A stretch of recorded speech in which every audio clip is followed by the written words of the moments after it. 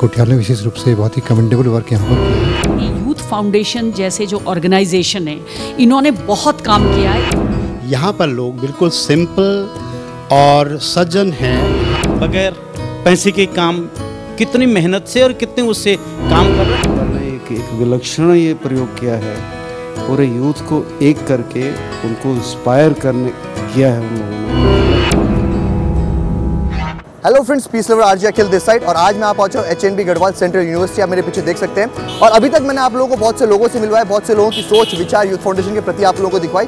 और आज मैं आप लोगों को एच एन बी केंद्रीय विश्वविद्यालय के यहाँ के वीसी रजिस्ट्रार और प्रोफेसर लोगों से मिलवाऊँगा। उनके विचार जानेंगे हम क्या कुछ वो सोचते हैं यूथ फाउंडेशन के लिए और क्या कुछ वो उनके विचार रखते हैं कर्नल अजय कोठियाल के प्रति। क्या आप पहाड़ और पहाड़ के लोगों के बारे में क्या कहना चाहते हैं पहाड़ के लोग एक तो बहुत मेहनती होते हैं दूसरा बहुत कठिन परिस्थितियों में काम करने वाले होते हैं। यहाँ पर लोग बिल्कुल सिंपल और सज्जन हैं। यहाँ पर आज तक सभी लोग एकता से रहते हैं और इनका जीवन बिल्कुल सादा है। यहाँ के लोग बहुत कर्मठ होते हैं बहुत मेहनती होते हैं और हमेशा आगे बढ़ने की कोशिश करते हैं। उत्तराखंड के लोग एसेंशियली बहुत ही संघर्षशील लोग हैं साहसी लोग हैं हैं। उत्तराखंड एक नवोदित प्रदेश है। और हमने बहुत संघर्षों के बाद इसको पाया है। और जो हमारा बेसिक डीएनए है उत्तराखंड का ये संघर्षों वाला डीएनए है। 9 नवंबर 2000 को उत्तराखंड का जन्म हुआ। और आज उत्तराखंड अभी कुछ वक्त बाद 18 साल का हो जाएगा 18 की उम्र हो जाएगी। लेकिन आज भी यहाँ के अगर युवाओं को देखें तो दर बदर भटक रहे रोज़गार की मार खा रहे हैं। और इसीलिए 2013 में यूथ फाउंडेशन का जन्म हुआ। तो सर आपके क्या विचार है यूथ फाउंडेशन को लेकर सर? तो कर्नल अजय कोठियाल ने एक एक विलक्षण ये प्रयोग किया है।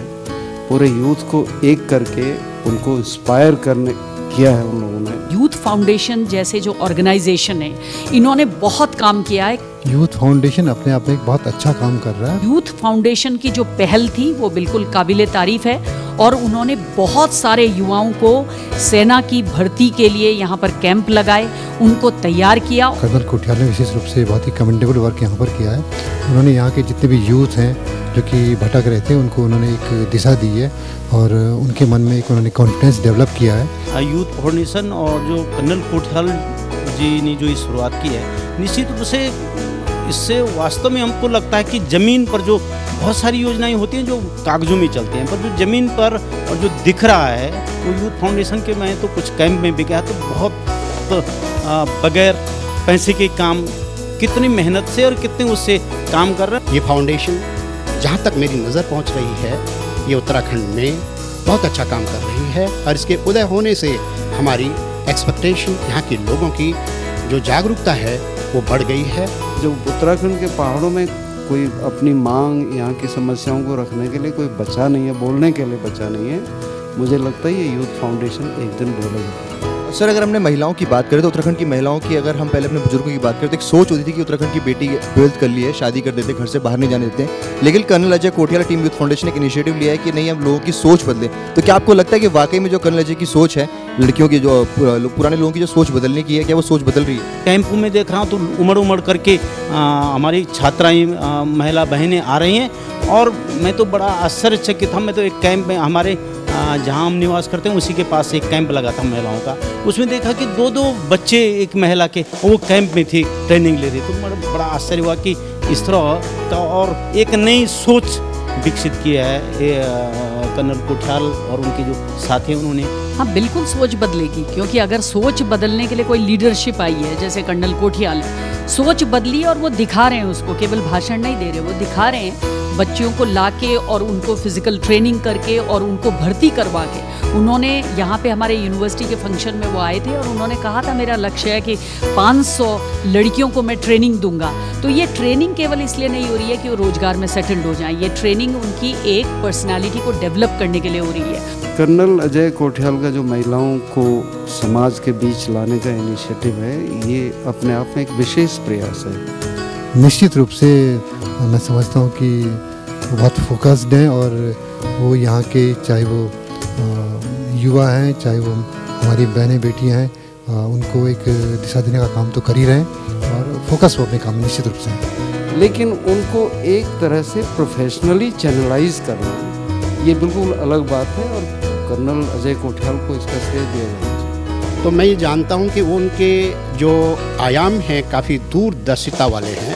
उन्होंने उत्तराखंड में विशेष रूप से जो जो महिलाओं के लिए काम किया है वो आज से पहले कभी कुछ हुआ नहीं है। और अगर हम जानना चाहें सर एज कर्नल अजय कोटे इज़ नॉट मैरिड तो क्या सर फोकस्ड होने के लिए भी एक, एक बहुत बड़ा रीज़न है उनका सर? हाँ डेफिनेटली इसमें उनका जो आगे का जो कार्यक्रम होगा क्योंकि वो अनमेरिड हैं तो पूरा उनका जीवन सभी लोगों के लिए समर्पित रहेगा। कुछ जो पारिवारिक जिम्मेदारियाँ हैं, उनसे थोड़ा सा आ, वो जिम्मेदारियाँ थोड़ा सा कम हो जाते हैं। तो जो पारिवारिक जिम्मेदारियों को उनको बहन करना था उन्होंने अपने परिवार को इस तरह से बड़ा परिवार बना लिया। तो उन्होंने पूरे समय उत्तराखंड को अपना परिवार मान लिया है। और कर्नल अजय कोठियाल तो मेरे एक मित्र हैं professor Fred Smith Iowa University professor उनको मिले उन्होंने उनके बारे में कहा he is the most interesting man in the hills I have ever met तो आप कर्नल अजय कोठियाल और टीम यूथ फाउंडेशन के बारे में क्या कहना चाहते हैं सर हमारी जनता से? आ, मैं कह रहा हूँ कि कर्नल कोठियाल जैसे बस चंद कुछ और लोग चाहिए और निश्चित रूप से हमारी आ, देश आ, जो हम कल्पना करते हैं कि किस तरह का प्रदेश होना चाहिए किस तरह का देश होना चाहिए उसमें कोई कमी नहीं रहेगी या वो समय दूर नहीं रहेगा। नहीं, मेरा तो कर्नल कोटियाल के प्रति बहुत ही श्रद्धा का भाव है। हो सकता है वो में, मेरे बराबर या मुझसे छोटे हों, लेकिन जिस तरह का वो कार्य कर रहे हैं, जिस तरह से वो यहाँ के समाज को, यहाँ के युवाओं को एक दिशा दे रहे हैं तो मेरे मन में उनके लिए एक सम्मान का भाव जो भी व्यक्ति कर्नल कोठियाल यूथ फाउंडेशन से जुड़े सारे युवा, जो अपने कंफर्ट जोन को छोड़ के समाज के लिए कुछ करते हैं वो मेरे लिए हेड्स ऑफ़ टू देम और मेरे लिए वो बहुत प्रेरणा स्रोत होते हैं कि मुझे लगता है वो अपना समय, अपना धन, अपना तन मन से इस कार्य में लगे हुए हैं। उनके लिए बहुत बहुत शुभकामनाएँ। एक ऐसा कालिदास ने अभिज्ञान शाकुंतलम में शकुंतला के लिए कहा है कि अनाघ्रातम पुष्पम केशलय मलूनम करुहे ये ऐसा फूल है जिसको अभी तक किसी ने सूंघ करके प्रदूषित नहीं किया है। हाथ लगा करके उसमें खरोंचे नहीं लाया है। ये ऐसा, एक ऐसा ऐसा संगठन है जो बहुत दमदार है, बहुत ताकतवर है। उसको, उसका कहीं पे भी अभी लोगों ने मर्षण नहीं किया है, दूषित नहीं किया है, और ऐसा संगठन ये बना रहे तो हमारा उत्तराखंड अपने आप में नहीं, पूरे प्रदेश में सिरमौर बन सकता है। ऐसे व्यक्तित्व को हम नमन करते हुए, उनके साथ हमेशा जुड़ने की कोशिश करेंगे। उन्होंने जो प्रेरणाएँ दी हैं, हम भी उनके साथ लगातार काम करते रहेंगे। सो so, दोस्तों, ये थी एक छोटी सी मुलाकात। हेमवती नंदन बोगड़ा केंद्रीय विश्वविद्यालय के वीसी और प्रोफेसर के साथ। कुछ सवाल मैंने इनसे पूछे, कर्नल अजय कोटियाल और टीम यूथ फाउंडेशन रिलेटेड और इनके जवाब आप सभी ने सुने। फ़िलहाल, आप क्या कुछ सोचते हैं यूथ फाउंडेशन और कर्नल अजय कोटियाल जी के बारे में, आप कमेंट सेक्शन में ज़रूर बताइएगा। एंड अभी मुझे दीजिए इजाज़त। बहुत जल्द हाजिर होऊँगा आप लोगों के साथ एक नई वीडियो के साथ। Thank you